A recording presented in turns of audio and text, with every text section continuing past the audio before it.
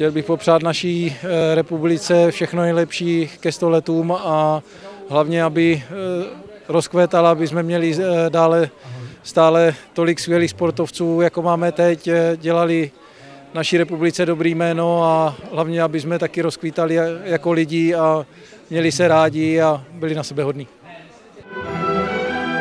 Oslavme společné století.